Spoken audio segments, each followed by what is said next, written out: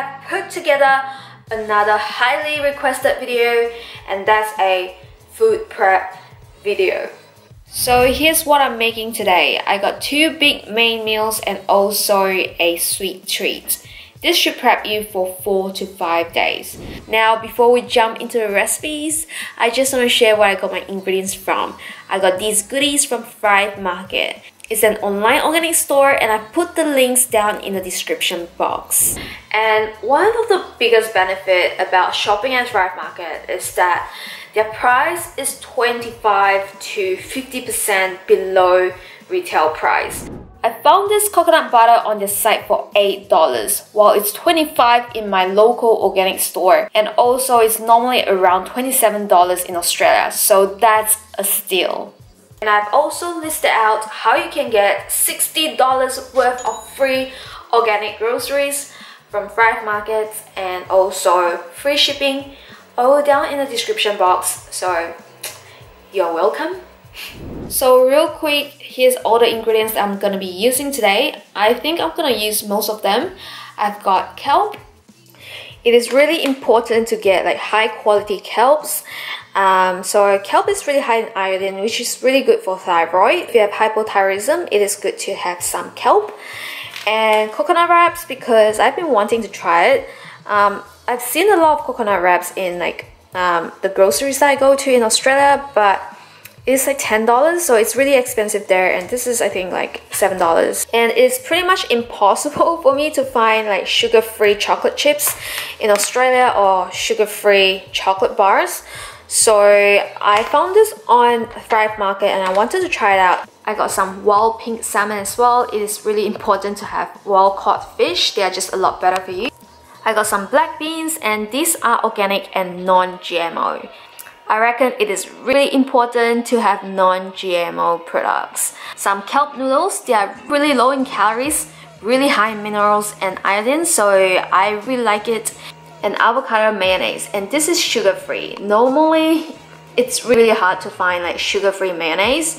Um, I've only seen a couple of brands with sugar-free mayonnaise, so I was really, really excited to get this and some organic peanut butter because you know me, I love my peanut butter and almond butter. so all these items are non-GMOs and in my opinion it is really important to have non-genetically modified items. So there's no artificial ingredients added to all of these things so yeah, trying to live a healthy lifestyle here. So before we get into cooking, I'm just gonna give you guys a little update about my current diet. I'm still doing intermittent fasting, I'm taking it quite easy. Sometimes I do have breakfast, sometimes I don't, but mostly I have two big main meals and that's the reason why I'm making two big meals today. And also because of my keto experience, I stopped eating sugar. And the only sweetener I have these days is stevia and stevia is a natural sweetener uh, and it is calorie free and it doesn't increase your blood sugar at all. So that's why I'm using stevia only. So today's recipes are all really quick and easy and even the cookies. It is a no bake cookie. So yes let's start cooking. Let's start with these delicious sugar-free no-bake cookies.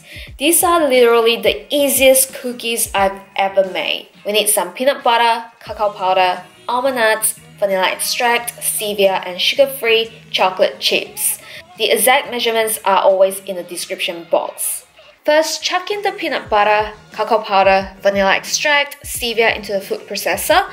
Process until smooth, then add almonds and pulse it once or twice. Don't over process it because it's gonna turn really gooey. Take the mixture out and add some chocolate chips. And that's it.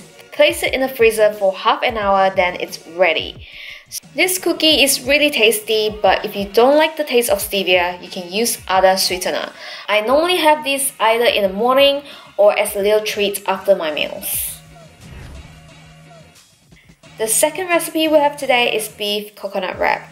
This is really simple as well and it is so delicious. I really really love it. Uh, we need a kilo of minced beef, half an onion, two peppers, a carrot, black beans, tomato paste, apple cider vinegar, cumin powder, and ginger powder, which is optional. I'm going to cook my minced beef first, and once that's brown, I'm going to add some salt, cumin, ginger, tomato paste and stir fry it for a while, for a minute. And finally add the apple cider vinegar.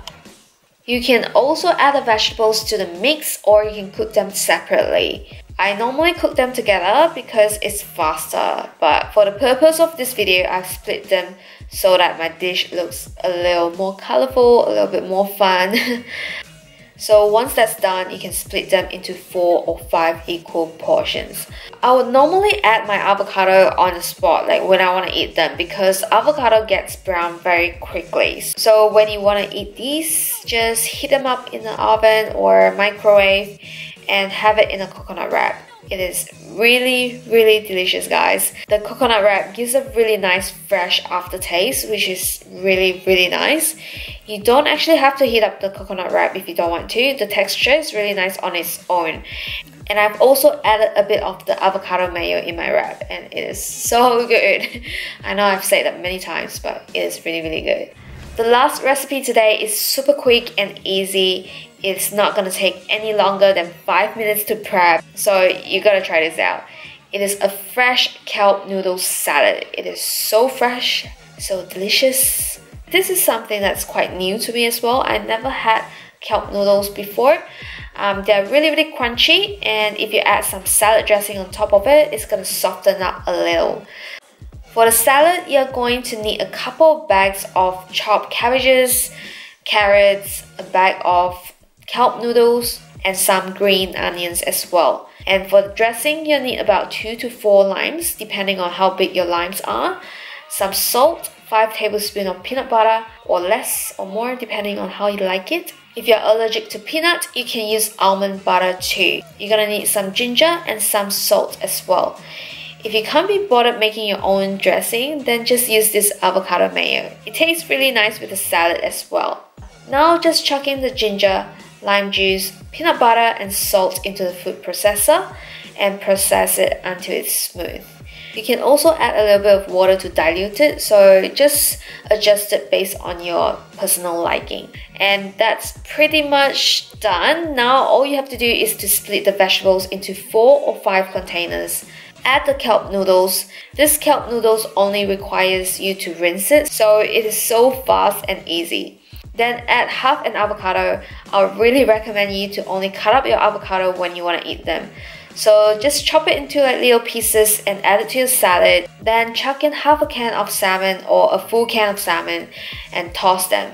Make sure you mix it well with the sauce and that's it. It's really simple. So you can alternate the ginger sauce with the mayo if you get bored of just using one sauce. You can also use other type of salad dressings. Um, like ranch or whatnot. I just finished my meal prep and I'm really really happy with how everything turned out. So when you want to have the salad, just chop up the avocado, put in some sauces. You can either use this or that, they're both really really good. And half a can of salmon in here. So this is really really yummy. Cookies is really nice too. I really really like it, but if you don't like the taste of stevia, you can use other sweetener.